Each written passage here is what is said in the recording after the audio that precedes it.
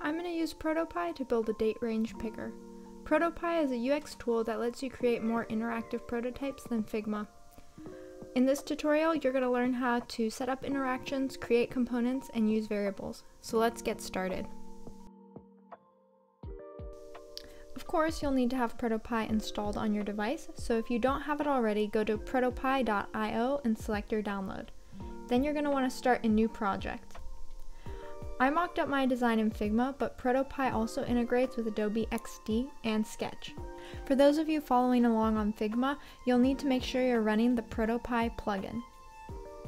It will bring up this pop-up and you can select the frames that you want to export and then hit export.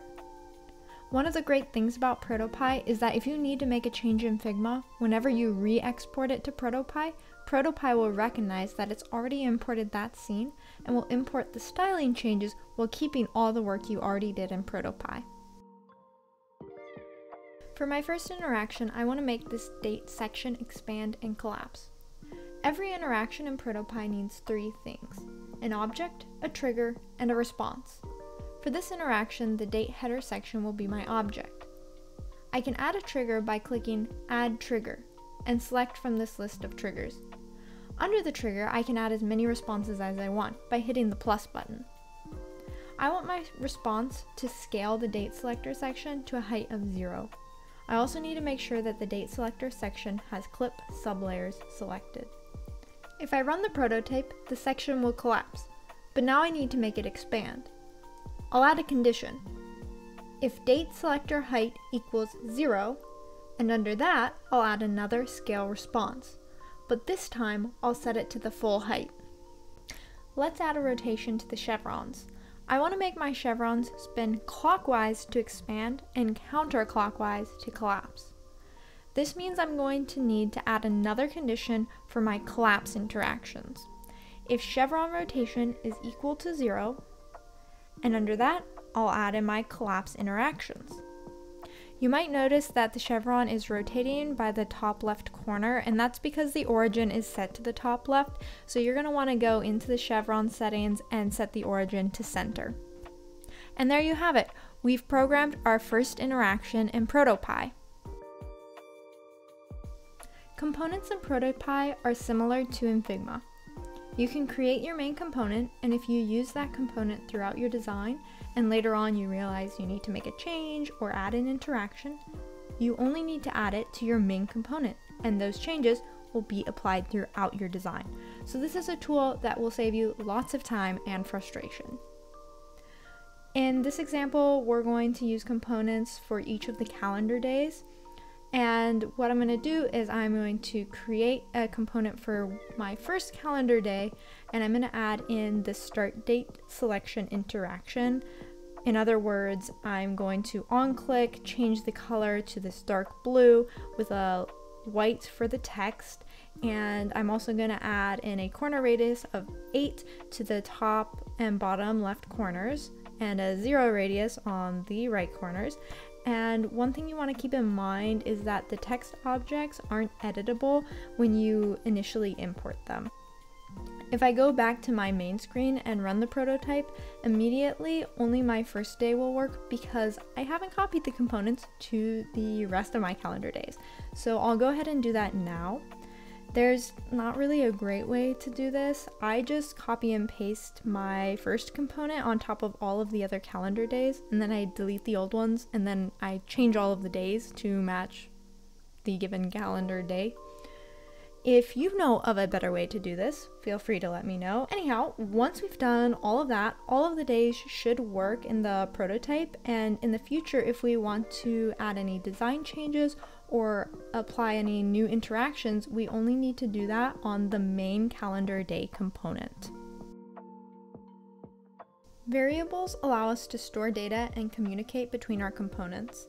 We're going to set up two variables on our main scene and four in our component. In the main scene, I'm going to name my variables start date and end date, and as their names imply, they will store the start and end date values of my selections. In the component, I will have a start and end date variable as well, and they're going to have the same information as the ones on my main scene. And then I'm also going to have a variable called first input complete and a variable called second input complete. And these variables will be Boolean values, meaning that they're either going to be true or false, 1 or 0. And by default, they're set to 0, meaning false. And we're going to use them to determine if we've input our date values or not. Now we want to add in messaging to communicate between our main scene and our component. In my on-click action for my calendar date, I will add in a send response and you need to make sure to add in a message which you can type in whatever you want. I'm gonna just name it start date. You're gonna need to make sure to send the message with a value.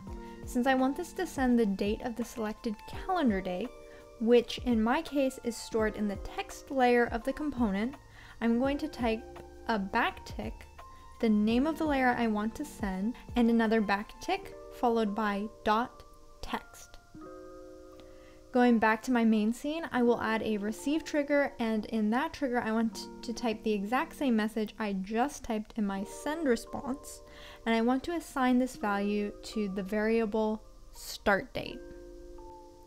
Let's test this out and see what's going on behind the scenes.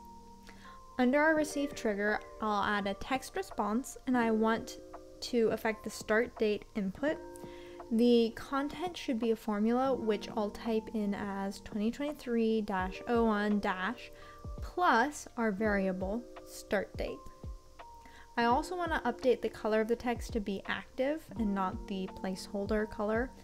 And when I run the prototype, the value of the start date input will update based on the date I select. In the previous step, we updated the start input field for this step, I actually split the year and month and separated those from the day since I wanted to make the day an input value. Inputs are a way to allow users to type in their own custom values, and you can set up input types such as number, text, password, or URL, and there are lots of other cool settings you can apply to your input fields. Unfortunately, in this video, we won't be going too deep into the topic of inputs, but I do have it set up in my prototype, which I will be publishing. So feel free to check out what I did and how I set up the inputs on your own time. For this part of the tutorial, I already put together all of my interactions and I'll just walk through what each of them does and why I did it in that way. We'll start in the component with our tap interaction. You can see that we have four conditions here and I'll just rename them to break it down a little. The first one is first date click, and this condition is if first input complete equals zero and if second input complete equals zero, which essentially means nothing has been selected. The second condition is first date off click. We set this up uh, in a previous step, and if you remember, the condition is if left corner radius is equal to 8, meaning if that first date has been selected. The third condition is second date click, and this condition is if first input complete equals 1, so the first date has been selected, and if second input complete equals 0, meaning the second date has not been selected. And the fourth condition we have is second date off click. And this is similar to the first one except for it says if the right corner radius is equal to 8. So you see that the first day click and the second day click will cause the day selected to change to the styling we have for an active day, meaning it's going to be dark blue with white text, and for the start date, it will have corner radius of 8 on the right corner, and then the opposite for the end date. The off click interactions serve to reset the days and um, send them back to that default styling. We also have send responses for the on click interactions. They're going to send the date value. So that's the backtick date, backtick.text, and it's just sending the value that's stored in that text layer. And then for the off click interactions, they're sending back a value of zero, which is going to reset the date. Back in our main scene, we have a start date receive trigger and an end date received trigger and these by default were named received but I of course changed the names to make it easier to decipher Both of these are going to do pretty much the same thing. However, the values received will go to their respective variables and the start date will be affecting the start date input field, whereas the end date will be affecting the end date input field, of course. These top responses are changing the input field to be the active color and styling. We are also using the formula to update the date to match the selected date with a leading zero. The condition below these says that if the start date or end date, depending on what you're looking at, is greater than or equal to 10, and the formula for the input changes to having no leading zero. So this will account for if the date selected is a single digit or a double digit. Below that is the condition that says if the value received is zero, then it resets everything. As I mentioned before, the interactions for the start and end date receive triggers will almost be identical, except for in the start date, if it is reset, we also want to make sure the end date resets as well in case it has already been selected. Going back to the component, I have two receive triggers, first input complete and second input complete. And under the first input complete trigger, we have a condition for if the value is zero, and the interactions are to reset the calendar day. They will also send back a message end date with the value of zero. Under the second input complete trigger, the condition will be if the second input complete is equal to zero and the interactions are the exact same as the first input complete trigger, even the send message. We also have an additional condition here that says if the rectangle 1's opacity is equal to 0. And under that, we are setting the rectangle's opacity to 0. In a moment, we're going to set the in-between dates to have a light blue background color and this condition exists so that if the user decides to deselect the end date, the in-between dates will also be deselected or reset to their default state. So that way you don't have random light blue boxes with no start or end date. Now let's talk about the other two received triggers you might have noticed and I've named them start date and end date.